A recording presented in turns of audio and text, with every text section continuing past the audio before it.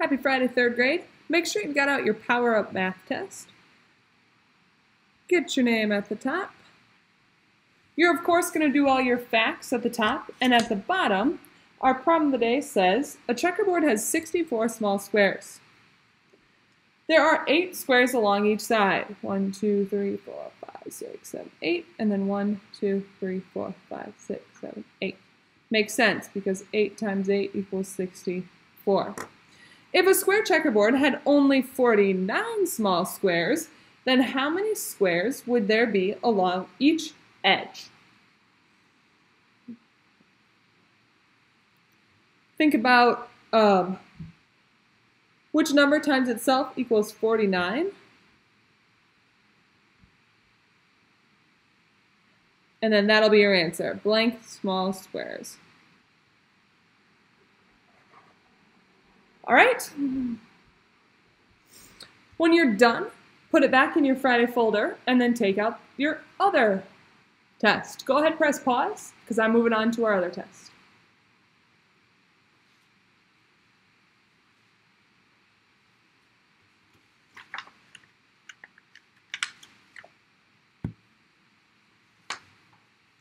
You should have both your test and your answer form. Make sure you put your name at the top.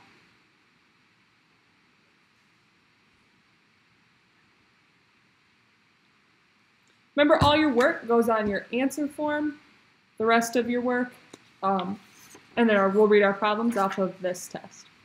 Okay? Number one. It is 120 miles to Li from Lillian's house to her grandmother's house. Lillian has only driven 15 of those miles.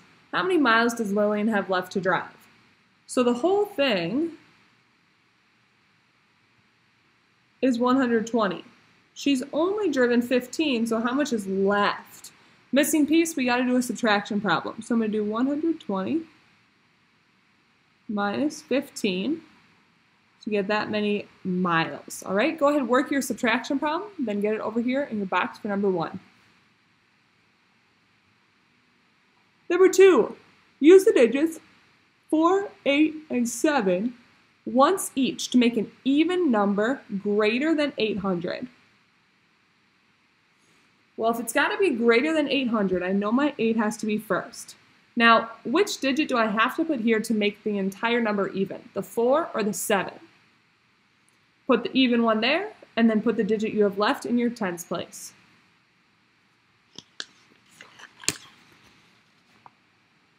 Number three says draw a pattern of dots to show the multiplication of 5 and 6. So you've got to do 5 times 6. So you do 5 rows, sorry, 6 rows with 5 in each row.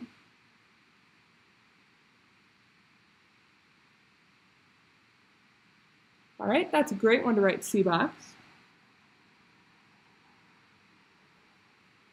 Number four, Seth wrote his birthday as 4 20 99. What month was Seth born in? That's A. And what year? That's B. Remember the year, if it's 99 like that, is really 1999. So for B, you'd write 1999. For A, what is the fourth month of the year? Number five, draw two perpendicular lines. Remember, perpendicular lines meet at a right angle. So you're just going to draw your two perpendicular lines. Notice I've got arrows on the both on all sides of this because perpendicular lines go on forever and ever.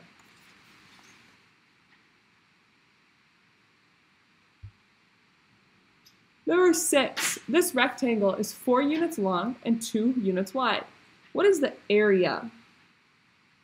Well, area equals our length times our width. So area is going to equal 4 times 2. So what's 4 times 2? That'll be your area. Number seven says, what fraction of the circle is shaded?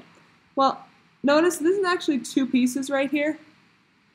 One, two, three. So that's three pieces that are shaded. How many total are there? One, two, three, four, five, six, seven, eight. But there's eight pieces there, so eight would be your bottom number. Number eight, change this addition problem to a multiplication problem. How many sixes are there? Do six times that number and then tell me, find the answer as well. Number nine says round 64 to the nearest 10, round 87 to the nearest 10, then add the rounded numbers. So 64. 6 looks at the 4. 87, 8 looks at the 7.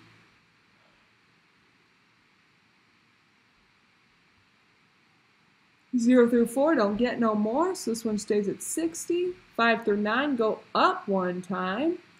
So this is going up to 90. So go ahead and add those together. 60 plus 90.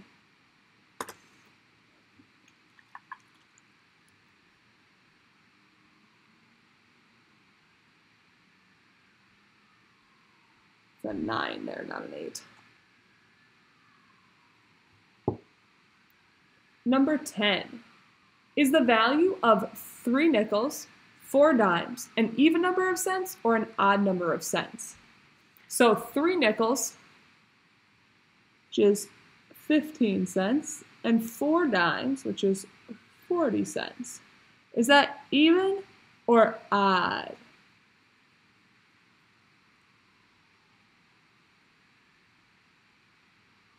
Even or odd, the whole number. Number 11. The arrow is pointing to what number on the number line? Well, we've got a miss. We've got some. Um, we've got a number line here. We're gonna try one, try two, try five, try ten, try twenty, try twenty-five. Let's try 10. 0, 10, 20, 30. Ooh, it's not a 40. Sorry, there's a car driving by my window. All right, you can hear me now. Let's try 20 then. 0, 20, 40, 60, 80. that says 100, not 80. Let's try 25. 0, 25, 50, 75, 100. Well, yeah, so that would be 50. So you can just write 50.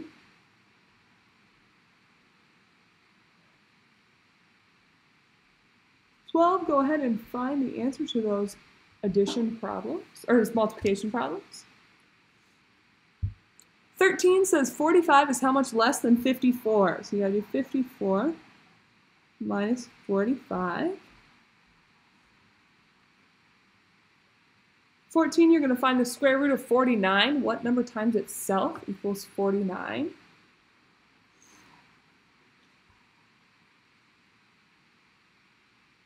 Fifteen, you gotta compare. 67 plus 22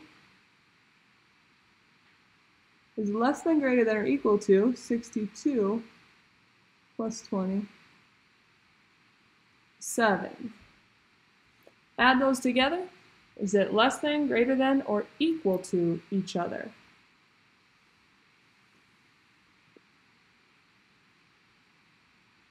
Sixteen, we've got a missing number in an addition sentence. To find the answer, subtract. So do 99 minus 18. 17, we've got a missing number in a subtraction sentence. The missing number is second, so you still subtract. So do 656 minus 303.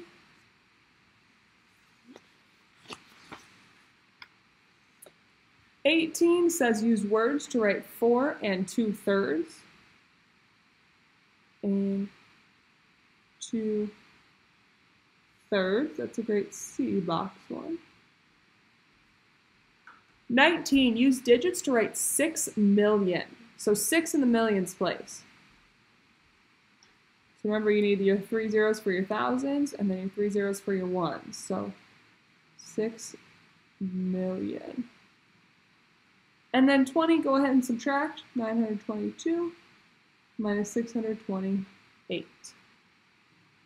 All right, excellent. When you're done, put it back in your Friday folder.